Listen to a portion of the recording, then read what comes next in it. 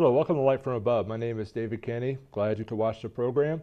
Today we're talking about insufficient standards, and today we're going to talk about the idea of I feel it. You know, it's, it's really no secret that people uh, have been having a problem with authority that's been talked about for a generation, but you know, or more. But you know, some people they pick insufficient standards of authority, and, and that's what we're going to talk about today. The one of I feel it, and you know, it really has to do with our impulses you know, and, and there's definitely uh, marketing people out there that are trying to captivate on that and trying to make it uh, something that they will make you buy their product. But you know, sometimes people, you know, I feel it. Uh, it really it could be a very damaging kind of thing. I mean, it's not always damaging, but you know, it really depends on what their moral compass is. Some people's moral compass is so far off that I feel it may be something that they think is no big deal, but the people that have to suffer the consequences of it, that might be another matter. For example, you know, some people say, well, I just feel like doing this, whether other people feel like it or not. Well, think about where that could go, all the different things that could be involved in uh, that we can uh, harm people with. But, you know, we're going to talk a little bit about a passage in Galatians under this idea of I feel it. And is that a sufficient standard of authority or not. But I thought I'd tell you a little bit about the book of Galatians first. Show you this chart here that shows Old and New Testament books. I have the arrows pointing from the top to the bottom. You'll see that Galatians is a part of the New Testament. Also, you'll see that uh, it is a part of the epistles of Paul uh, to the churches of Galatia. It was one, among the early writings of the New Testament. Uh, of course, you know the New Testament books are laid out by uh, the type of literature uh, and also there's some chronology there, obviously, but uh, not everything's strictly chronological. And I think that chart does a real good job of pointing it out. Galatians is among the early books written of the New Testament. Some of the other early ones, uh, 1st and 2nd Thessalonians, 1st and 2nd Corinthians, and Romans, are some that Paul wrote uh, very early uh, after the church was established. It's a part of, you know, Paul went to Galatia. And one of the things to keep in mind, Galatia is not just a church, uh, there's multiple churches because Galatia is not a town, it's a, it's a province, it's an area, sort of like a county. You know, Wadsworth, a city, it's a part of Medina County. Well, Galatia would be sort of comparable to Medina County. Now, let me show you on the map. This is Paul's first missionary journey. You'll notice that he leaves and arrives uh, from Antioch, Syria. And you'll notice that he goes right up, and you can see the all capital letters there, right in the middle of all that activity in uh, Turkey, or some places, you know, they call it uh, Asia Minor. But you'll notice right there the words going uh, vertical there, Galatia. And Galatia includes multiple towns, as I said, like Pisidian of Antioch, uh, Iconium, Lystra, Derbe, uh, and even southern Galatia. So, I mean, he's, he's in that area. It's his first missionary journey. He goes there and he comes back to Antioch, and I think that's probably where he wrote to them. Probably went on this journey, met them all, established church, all that, got back to Antioch of Syria, and wrote uh, to them. And this is epistle of Galatians. And in that letter, he writes to them some things that they are to avoid. And let me just show you the passage. It's Galatians chapter 5, 16 through 21. And let me just read it uh, together. I say then, walk in the Spirit, and you shall not fulfill the lusts of the flesh. For the flesh lusts against the Spirit, and the Spirit against the flesh. And these are contrary to one another, so that you do not do the things that you wish. But if you are led by the Spirit, you are not under the law. Now the works of the flesh are evident, which are adultery, fornication, uncleanness, lewdness, idolatry, sorcery, hatred contentions, jealousies, outbursts of wrath, selfish ambitions, dissensions, heresies, envy, murders, drunkenness, revelries, and the like, of which I tell you beforehand, just as I also told you in time past, that those who practice such things will not inherit the kingdom of God. Now, notice he uses that expression there, uh, so that you do not do the things that you wish. He's telling them, these are the things you, you should not be doing. Because, and what's, what's that mean? Well, you may feel like doing these things, but as a Christian, you should not do them. And these are them, and you should avoid them. So, you know, the idea that, you know, I feel like it's the right thing to do, or I feel like it's good for me, or I, it, I feel it's going to make me happy, and the consequences can just do whatever. You know, that's something that, you know, we need to give serious thought about because Christians are supposed to walk after the teachings of Jesus Christ, both in word and example. And also, we follow the writings, the inspired writings of the New Testament, writings by his apostles and other uh, people empowered by the Holy Spirit uh, to write what we are to do as Christians. Those are found in the New Testament. But you know, the passage I read is from the New King James, and the New King James does a pretty good job of updating some of the vocabulary from the King James uh, sometimes you know, words they change meaning, or maybe we're not so familiar with them. And so, I thought I would do is I took the list of those uh, works of the flesh, as some people call them, and I put them in a series of tables. And I used a lexicon. It's called the uh, the Greek English lexicon of the New Testament and other early Christian literature. Boy, that's a mouthful. It's abbreviated as BDAG, BDAG and it's one of the more reputable Greek lexicons out there. It's the latest edition of it. Uh, just came out just just a few years ago. It's a big old book. I would have brought it in, but I had enough stuff to carry as it was, so I didn't bring it in to show it to you. But you can find it online pretty easy. It's about 150, 175 dollars. It's not cheap. But I spent some time and I looked up these words, and what I'm going to show you is a table that'll have the English word from the New King James, and then it'll show you the Greek as it appears as it was written, and also a transliteration of it, which is basically taking the Greek letters and giving them English letters. And then what I did was I give you the definition from that lexicon, which falls under the heading of BDAG. And what I thought we'd do is just go through these, and I'll just read to you the, the definition or the gloss or the synonyms, how, however they describe it. I didn't really go into that kind of detail. But let me just, I'll just read these definitions to you, and then ask yourself, do you understand what that word means? And then ask yourself, do I see other people doing this? And then ask yourself, am I doing this? And why am I doing it? Am I doing it because I feel like I, I could do it? See, it's insufficient. The, the New Testament is telling you you should not do these things, even though you may feel like doing them. So that's a contradiction there, showing that trusting your feelings on the matter is not adequate. Well, let's take a look. Here's the first, um, first four words uh, adultery, fornication, uncleanness, and lewdness. And I have, like I said, there in the column, those are the Greek uh, words for those English words. And adultery is pretty straightforward. Adultery, same thing in the lexicon. Fornication, unlawful sexual intercourse, prostitution, unchastity, and fornication. Matter of fact, you look up that word uh, in other lexicons, they'll even give you more detail. And it includes things that you know, such as uh, homosexuality, bestiality, and all kinds. This is really the umbrella term for any kind of sexual activity that falls out of what God has authorized. It's that word. And that's something that we should not be involved in as Christians. Then it has uncleanness. BDAG says a state of moral corruption, immorality, vileness, especially of sexual sins. And then lewdness, a lack of self constraint, which involves one in conduct that violates all bounds of what is socially acceptable self abandonment. You know, society society's changing. And you know, so sometimes it's sort of hard to say, well, you know, our society is changing and it's accepting things that, you know, a generation or two ago would not have been socially acceptable. So you have to be careful of that kind of thing. But even then, there are things that people are doing that most decent good people would say, you know what, that's just lewd. And we shouldn't be involved in that. Well, they may feel like doing that, but they shouldn't be involved in it. Well, let's take a look at the next four uh, idolatry, sorcery, hatred, and contentions. You know, idolatry, image worship, uh, walk in unlawful adultery, commit unlawful deeds connected with polytheistic worship. You know, the worship of these pagans was very immoral, had a lot of sexual immorality to it.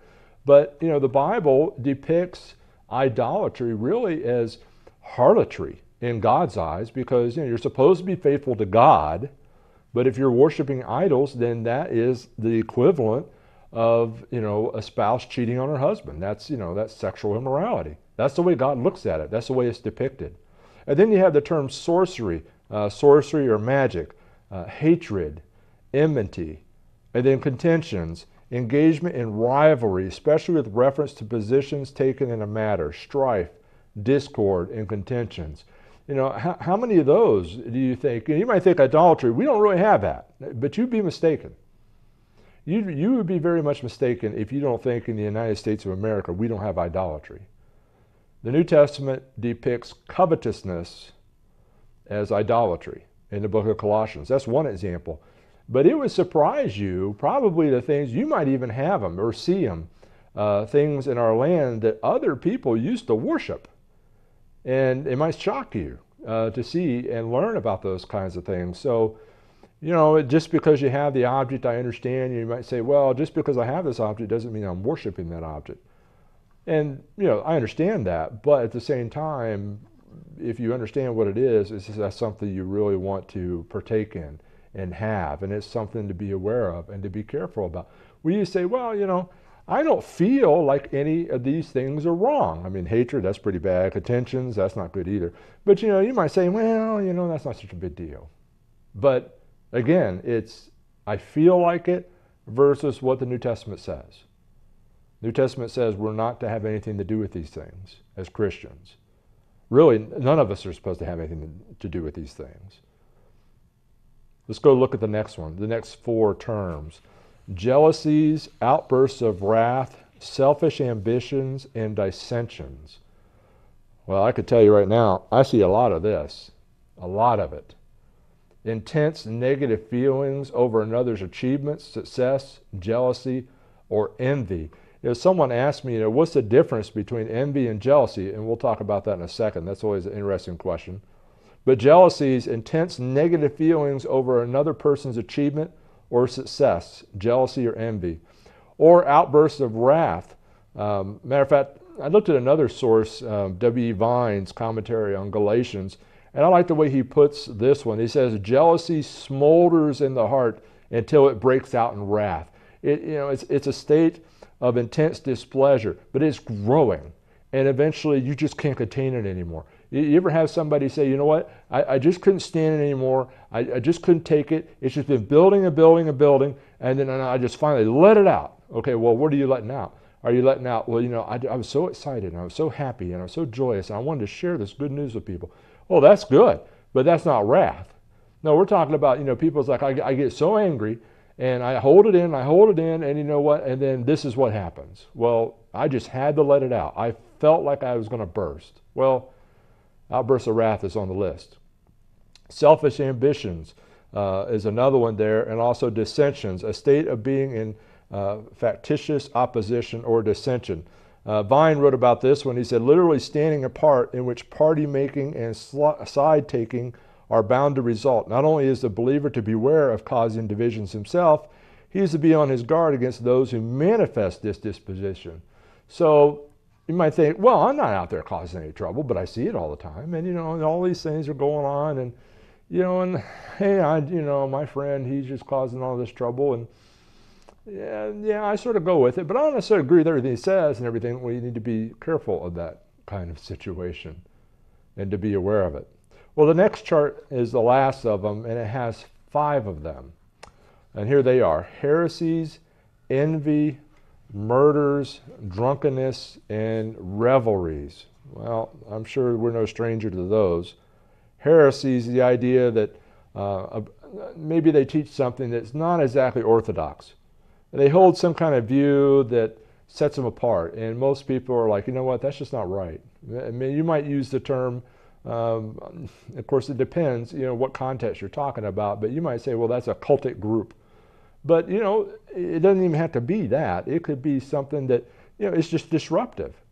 Uh, it's a, you know, this group is just causing uh, dissension and they're basically, you know, causing trouble. Uh, envy, envy and jealousy. Uh, Vine, and this is the part, you know, I thought was interesting. He has a good take on the difference between envy and jealousy. He says envy differs from jealousy in that the former, envy, desires merely to deprive another of what he has, whereas the latter, jealousy, desires as well to have the same or a similar thing for itself. So, you know, you, you know, you, you ever, I mean, there's a fine line, but there's a big difference in those concepts. But you know, if you ever saw somebody, you know, maybe you had that expression, you know, keep up with the Joneses. Maybe the Joneses got a new car, and you know what? You're like, you know, I'd I'd really like, to, I'd I would like to have a new car. I really, you know, okay, well, you'd like to have a new car, all right, but you know, those Joneses, you know, they got another new car, and and I, you know, I, I'm trying to keep up with the Joneses. You know, they're just making my life miserable and everything. I'm trying, you know, that that's jealousy. Or maybe you do this something like this. Well, you know, those Joneses, they got that new car and they really shouldn't have that car. They really shouldn't have it. I don't want it, but they shouldn't have it either. Well, that you're getting into envy. And they're both malicious. They really are. And we see it in our world all the time jealousy and envy. Jealous, wanting what someone else has for yourself. Envy, wishing they didn't have it, whether you want it or not. It might be a good way to paraphrase it. And then murders. Well, we understand murder and killing.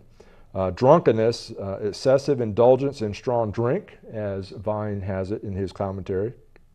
And then revelries, uh, excessive feasting, the consequence and concomitant of drunkenness. Well, some people might say, well, you know, oh, describe excessive. What's excessive mean? You know, it's always interesting when you talk to people about that, about, you know, social drinking. Oh, you know, I only had, you know, so much, you know, alcohol. You know, I don't drink to excess. You know, and I'm like, I'm like, well, what does that mean? You know, so the idea of excess is like, it's sort of difficult to tell. But you know what? If you're debating with yourself, you know, I don't know if that's excessive or not. Chances are, if you're debating with yourself, it probably is. It, you probably already have gone into it, especially if you like it. I feel it. Well, you know, drunkenness, you know, we're supposed to stay away from uh, drugs and alcohol.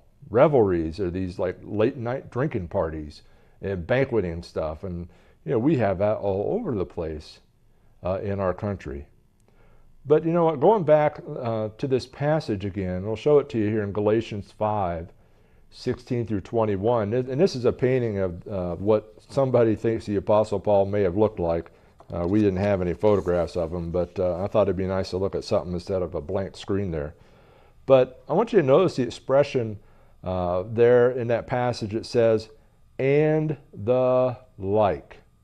And the like. Down there uh, around verse uh, 21, uh, right there. And the like. You know what that means? If it's anything like the items that we just talked about, even though it's not on the list per se, if it's like it, you shouldn't do it.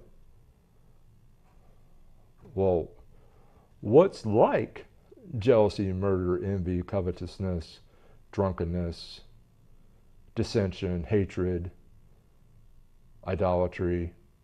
What's like those things? Well, there's all kinds of things.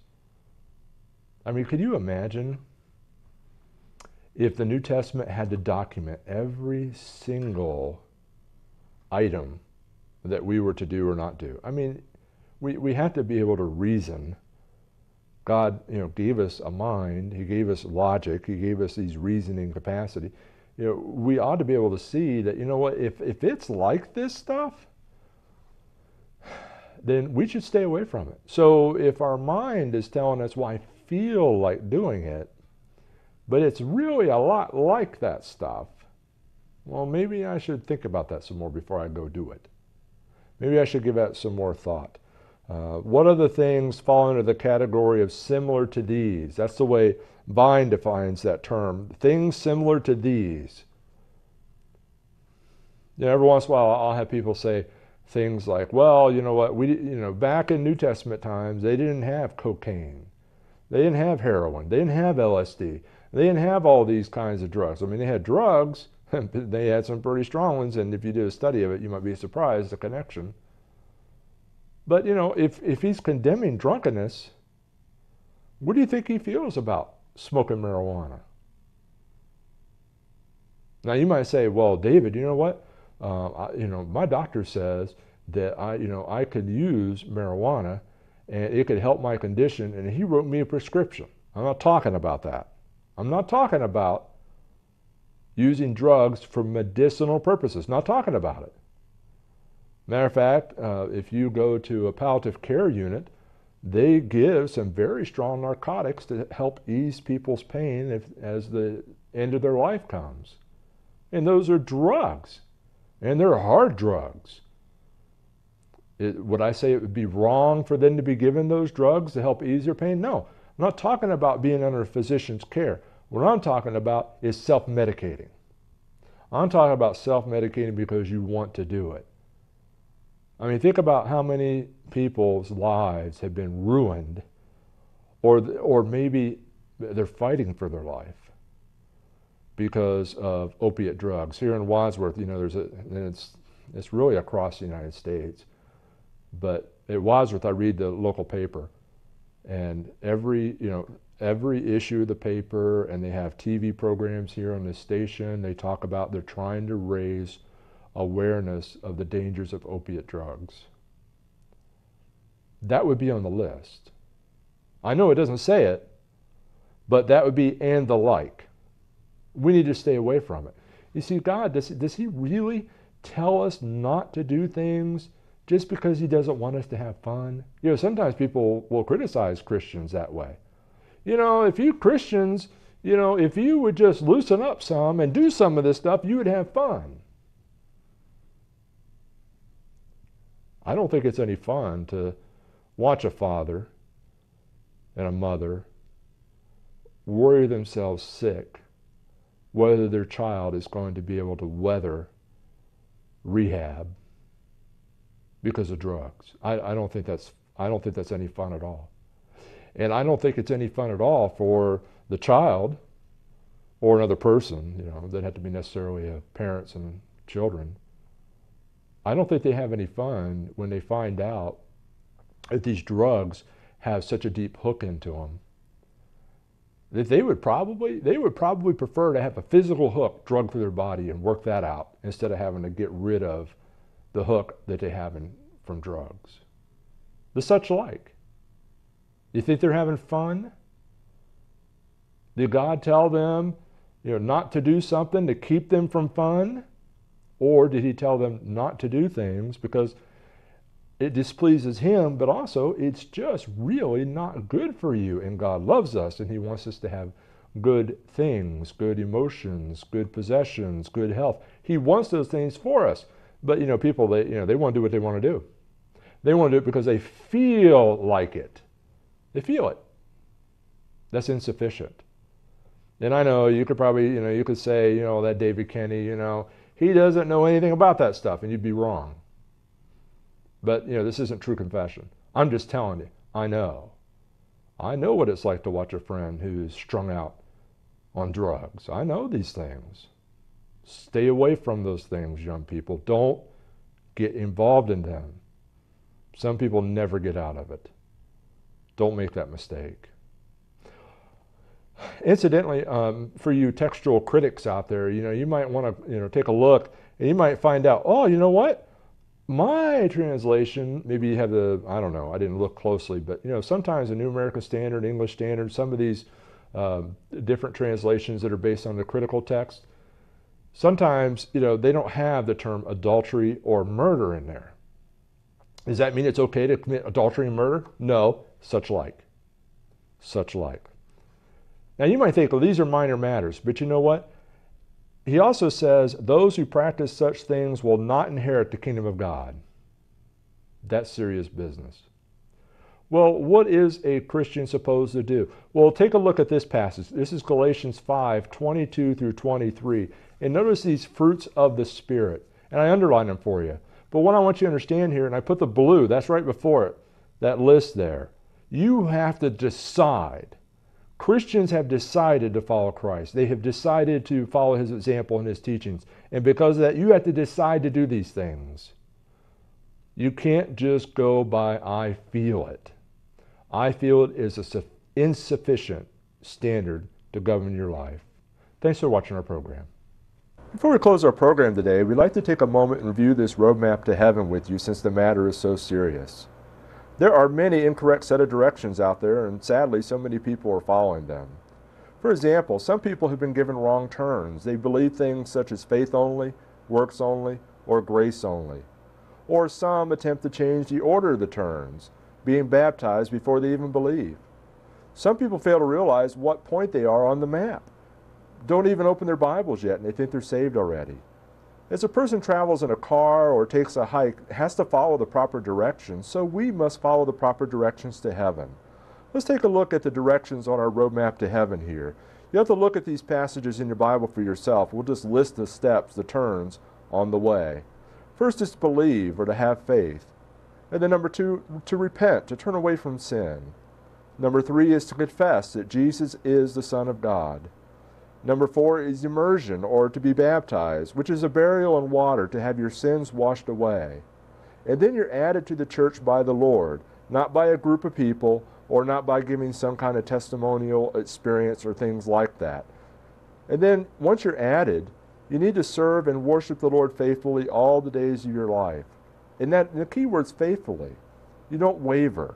And that's very important we need to keep in mind too that in Noah's day there was a big flood, and only people in the ark were saved from the flood. The same is true today. There is no salvation outside the Lord's church. Where are you on the roadmap to heaven? Thanks for watching our program. Please let us know if we can assist you with further information for your journey.